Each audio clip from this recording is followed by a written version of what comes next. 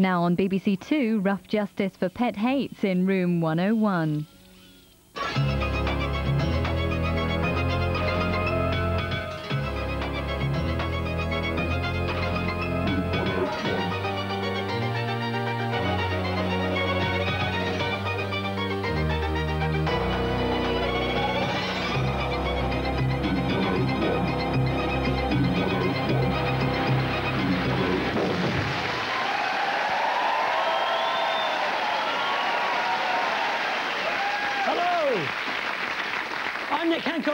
This is the entrance to Room 101, the place that contains more horrors than the average edition of stars in their eyes. it's filled with all the irritating things in life, like people who refuse to grow old gracefully, people who smoke huge cigars, and Jimmy Savile.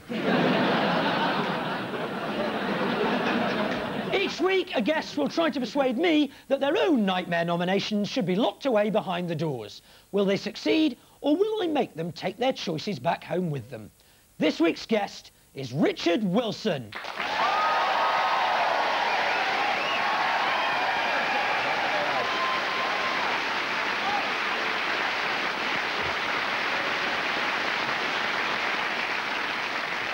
Now we have here the official Wilson compendium of crap. Uh, what's, what's just bubbling under? What didn't make the final list? Well, the reason I did the program is Right. bubbling under. I did the program because I complained bitterly about expensive shirts that you buy. You wash it a couple of times and the label starts to cut into the back of your neck. and, and the same with boxer shorts. It gets you right in the base of the spine. They're, they're made of very cheap nylon or something. That drives me crazy. Well, let's go on to your official first choice. Now, this choice is an activity, but it's an activity that's rarely done competitively, although we have managed to find a clip of that. Uh, let's have a look, and then you can tell us your reasons. You can enter the pipe smoking contest for a high speed full Becky until you're all puffed out.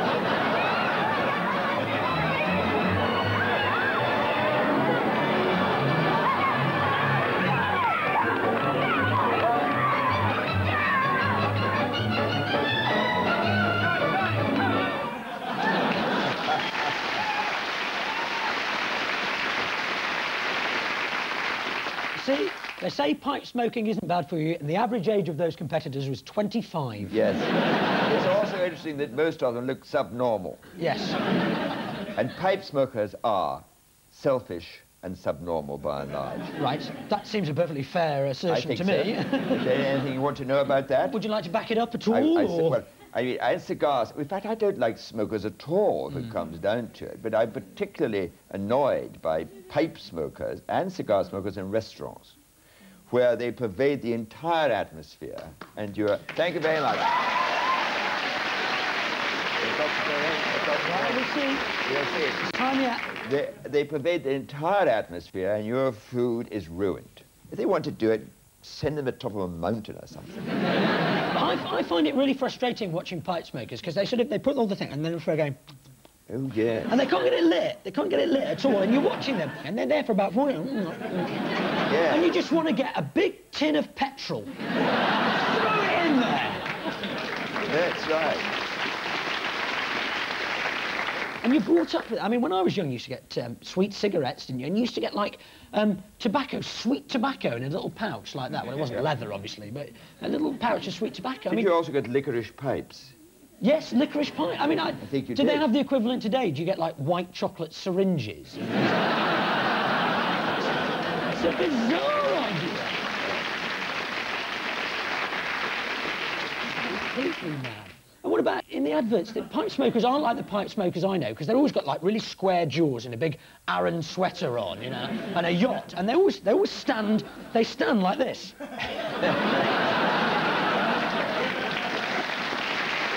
It's true, though, isn't it? It is true. This is...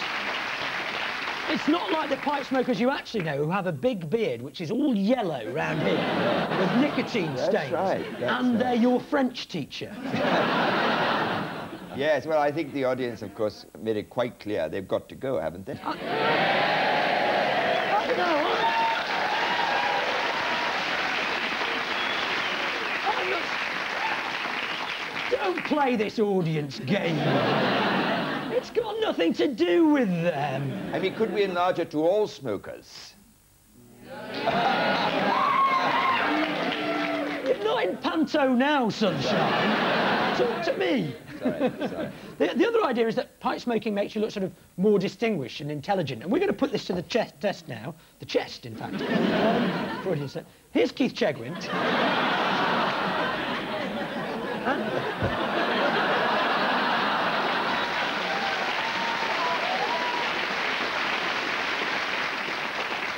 The tragic thing is it does make him look more intelligent. so there's a point point for pipes. I'm not going to let pipes in, I'm afraid. It's actually, it's on a technicality. It's on a technicality because as an Orwellian vision of hell, obviously room 101 is a designated no smoking area anyway, so there's no need to put pipes in. all right? It's my show. I don't like the way it's going, though. Put those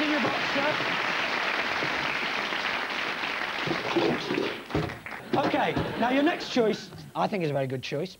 Uh, Sunday wouldn't be Sunday without this particular choice. It's, um, it's an exciting television programme. Let's have a look at it and just look out for the happy, smiling faces.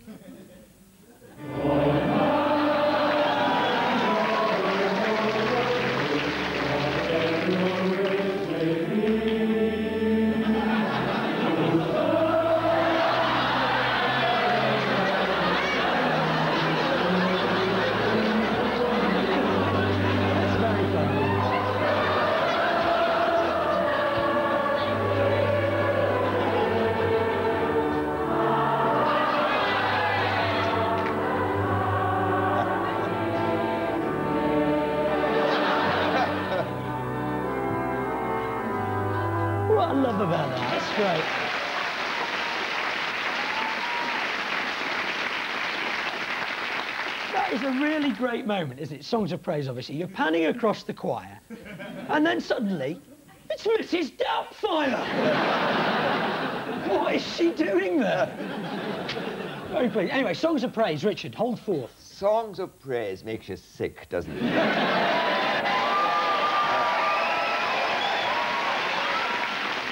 I mean, first of all, they're all singing their little socks off. Not because they're religious, but because they know the camera might just be on them. Really. Also, you know that if you go back next Sunday, the church will be three nuns and a dog in it. If they want to get a church that's full, they should be honest, they should go to midnight mass. They've got hundreds of people there on Christmas Eve, out of their brains. Going, it's lovely. It's lovely. we, we'll come again next. Why didn't we come more often? Much more honest, much more open. And, and they've got a religious channel now as well on, on So satellite. it's coming. 24 it's coming. hours. I'll be buying satellite now. Definitely. For a good laugh. Hmm. They say they're going to make it more like normal programming. I don't know how they're going to do that. Whether they're going to have programs like disciples in their eyes. Members of the public, come on and pretend to be their own favourite disciple. I'm going to be St Thomas. Oh, I don't know whether I am actually. Or, whose wine is it anyway? Here's another one. Here's another clip. This is, a, this is a great clip of, of an intro into a religious programme, which I couldn't believe when we saw it. Now it's 11.35 and time for This is the Day. If you wish to join in the next half hour of Sunday worship, please have with you a candle and matches, some bread and a Bible.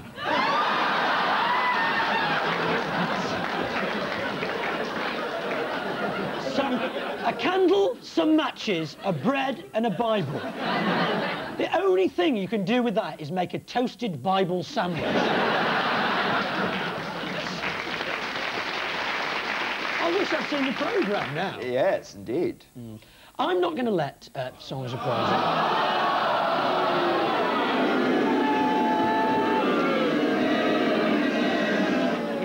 Water off a duck's back to me. It's not a popularity contest. Now, I think it's important that there is one hour on a Sunday evening when you can get up and stretch your Not legs. on in the evening. Nick. It is It's on in the 7.15. morning. Oh, that's morning service. 6.15. I think you've rather lost your battle there, haven't you? So we're going to send you home with this instant trendy vicar kit. There you go. There's the tambourine. Here's your dog collar. it's brilliant catalogue. You know, you can get catalogues. On... I'm not putting this on. Yes, I? you are.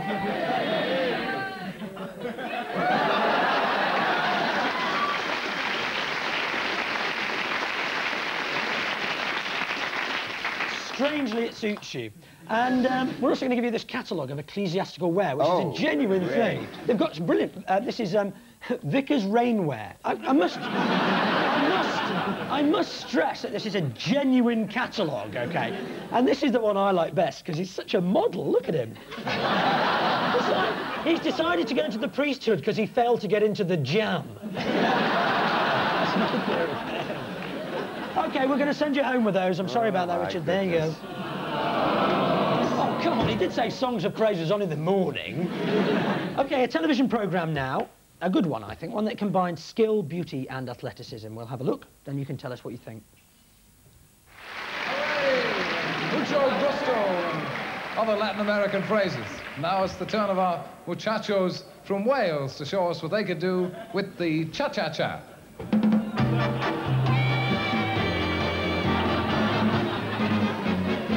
And this is the way they do the cha-cha-cha in Porthcawl. Or three call. Yes, Jarvis interpreted.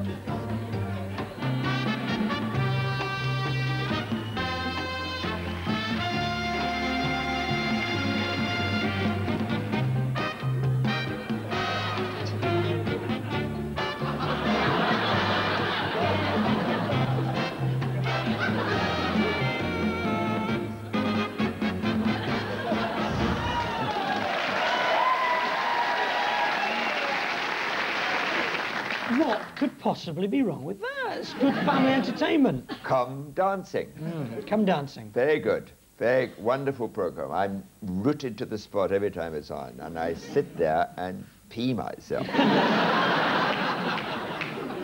I suppose it's I suppose it's a bit to do with insincerity again. It's this these smiles that are sort of glued on across the face, and there's whatever the position they manage to get into, they manage to still smile inanely. And then there's all these hairdos, the women. It's so unsexy, it's so clinical. Those hairstyles that. and it's not, it's not jealousy, Nick, you know. I I get the impression that they'd get points taken off if their hair looked natural. yes, absolutely. But I love the costumes. Do You know, you know, at Christmas you get those um, sort of papery circle things you can get like that, which then fold up into Yeah. a half like that. Have a look at this clip, and I'm sure this woman is wearing one of those. Helen Joyce proposed third in the British Senior Championship. Tonight they danced the tune I Wish You Love. Joyce made her own dress, crystal chiffon in sun blush. Well, you can't call that a dress. No. I mean, can It's you? ridiculous. It, it's a cake decoration. Uh. But you watch it and you see the women. I find, uh, maybe this is just me, I find the, the women in it and, and they suddenly go, she's 17. And you think, she looks 50. Can she be- it's like there's only two sets of, of women that can be 17 and look 50. Women on Come Dancing and women that work on perfume counters. And also, I mean, they say, and now the samba, and you hear the music for the samba, and you see a dance that has nothing to do with the samba as you know it whatsoever. I think they should have more representative things, you know, like come brawling or come drinking.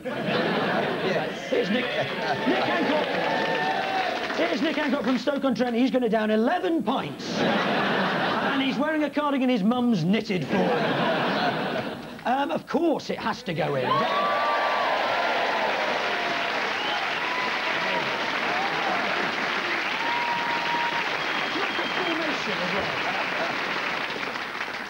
Have a little listen and bye-bye ballroom dancing. 101.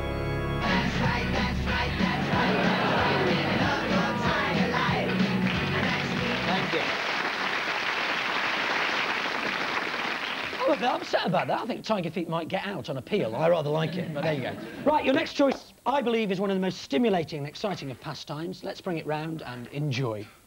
The six five special steaming down the line. The six five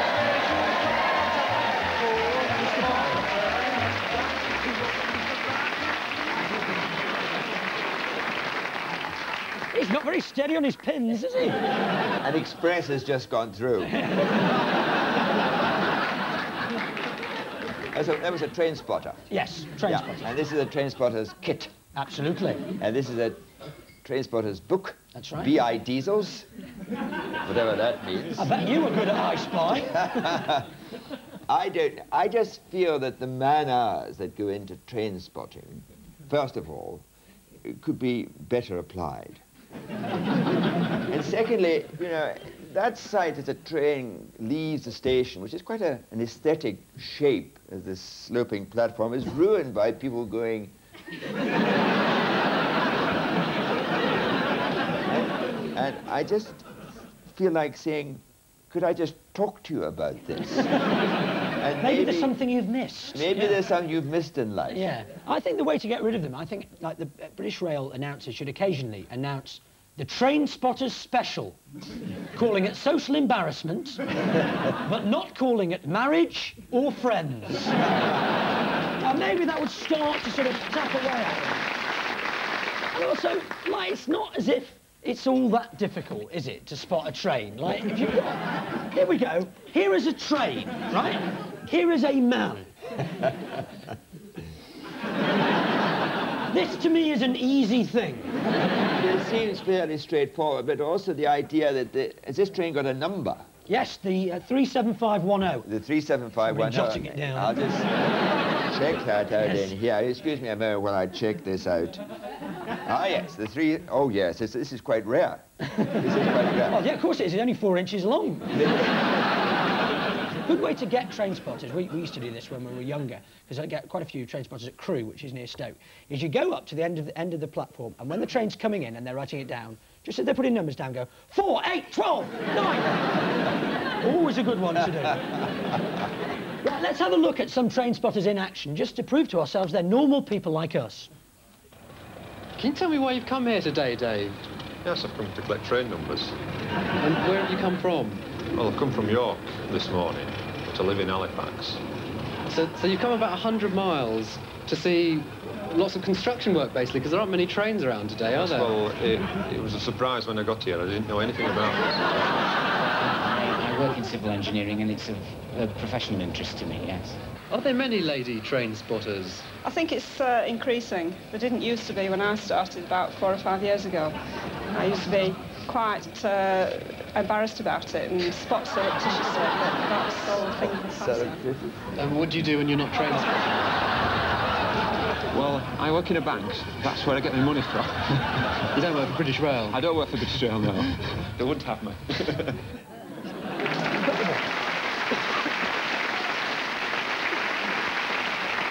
Four train spotters and not a mirror or comb between them. Quite frightening. I'm not going to put it in, I'm afraid. Sorry. If you, if you stop train spotters train spotting, they just go off and do something else like becoming Prime Minister. That's what I'm. Right, your next uh, choice is, is the discussion of a subject dear to your heart. Maybe you'd better say exactly what it is. Wait, what is it? It's gardening discussion. Oh, I see. Sorry. Uh, yes. Couldn't You've got a BAFTA, haven't you? I couldn't, I couldn't remember the running order. Uh, it's I'll all, give you it's the- all I'll- supposed to be spontaneous. I'll start it? again, yeah. Now, this choice, Richard, is a discussion of a subject very dear to your heart. Perhaps you better tell us about it. What is that? It's gardening discussion.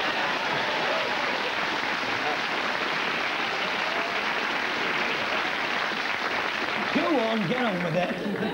Gardener's question time uh, and, gardening affiliated programs. Now, I'm very keen on gardens. I love gardens, but I can't, pe- can't stand people who waffle on about the pH of the soil and use all these strange names. Well, let's, let's bring it round and then we can discuss it more fully.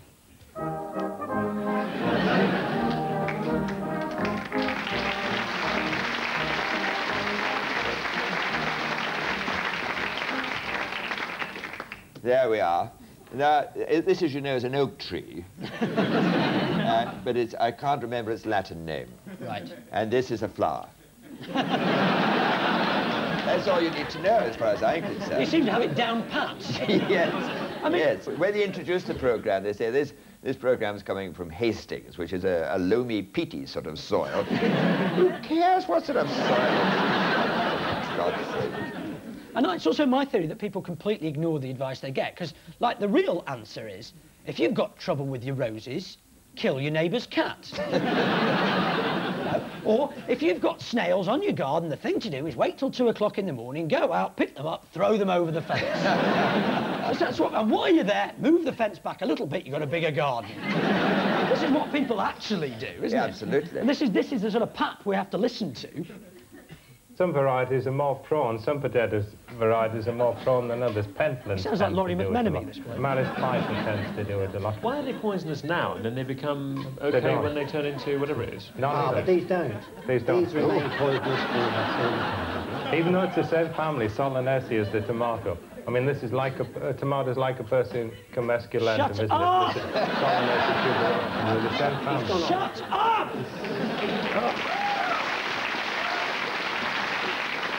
You, you, you notice his nails are absolutely as clean as whistles, you know, as if, as if gardeners went around cleaning their nails. Extraordinary. But yeah, I think in some ways you do need it because I, I, I occasionally do things in the garden. I go down to the garden centre and you go up to you know some spotty youth and you say, "Excuse me, I, I need to know about this plant." And they go, "I'm on paints." oh,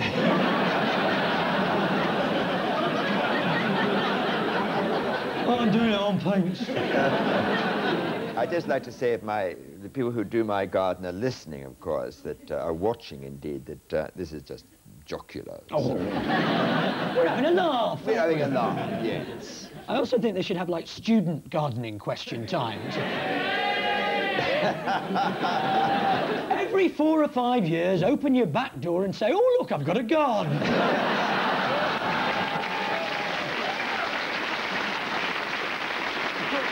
No, I'm, I'm not going to let uh, gardener's question time in. No, no, no, no, no, no, no. It's because it's good for your self-worth. You turn it on, you hear the people phoning in, and you think, actually, my life isn't all that sad.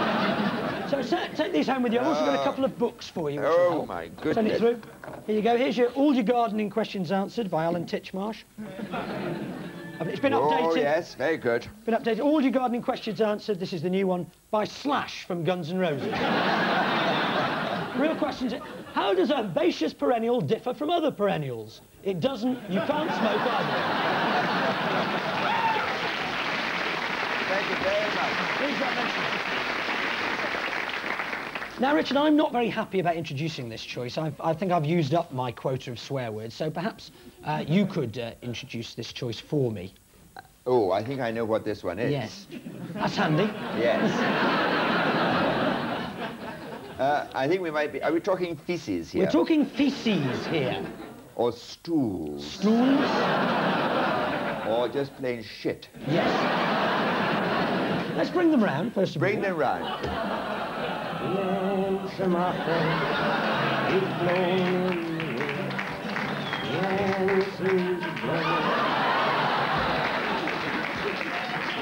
Is this coming No, off? I think we'll pop that back on there. That was very Freudian, wasn't it? You've been attacked by yourself. Well, There's a schizophrenic problem there. yes. Okay. Uh, I used to work in, in uh, laboratory work in, in medicine. And I, I had to deal with a lot of feces in my time. One of the tests I had to do in Singapore when I was in the army was that we used to get rid of tapeworms from people. And you had to find out the head of the tapeworm was a very, very tiny thing. So they would send the entire collection of feces and the bits of tapeworm, and I had to get a magnifying glass. Remember, the temperature was about 120 degrees. And I had to find the head or the scolex. I remember the, the terminology. And uh, it was a, not a very pleasant um, uh, thing. Now, I don't know what would happen if we put feces into room 101. So you, let me just get. You gave that job up. Yes, to be with you tonight. Oh, lovely. Yes. That's a similar experience. And also, I remember we used to have to deal with uh, children's feces for some reason or other, extraordinarily potent. I used to get, I used to get these cartons, and I'd open it, and I'd go, "Whoa." you know, you could, and then you'd look inside, and there was this tiny, tiny green pellet. Uh, and the smell was just extraordinary. And I'd have to tease about with that, uh, play about with that, and put it out and, and decide what was wrong with this child. It was quite clear to me they had a smelly feces, but I had to try and be a bit more specific than that. 24-hour urine samples, they used to have to stand for a week. Uh, so the sediment came down, and then you take the top Like off. a fine wine. Exactly, like a fine wine. You take the cork off and mm, it's extraordinary. A bit like pipe smoke, actually. Almost as bad as pipe smoke. Would just fill the room. Quite astonishing. So I would quite like to forget all about that and, and someone is laughing in room 101. it won't be in a moment.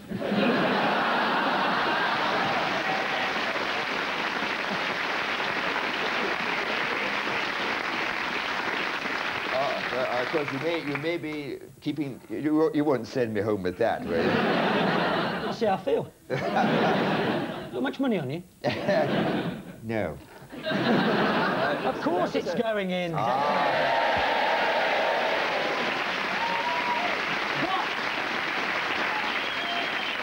You may have noticed that that is an empty bedpan. So, to represent feces or shit, we have here the complete works of Jeffrey Archer.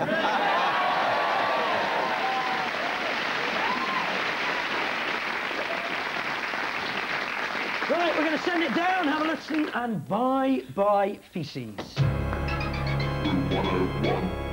Ball oh of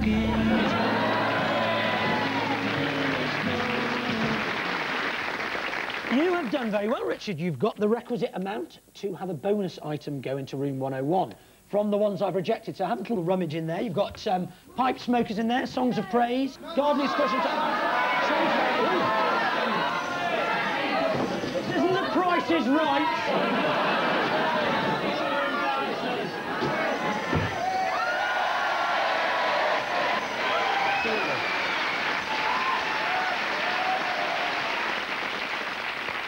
And I'd just like to say thank you very much to Richard Wilson.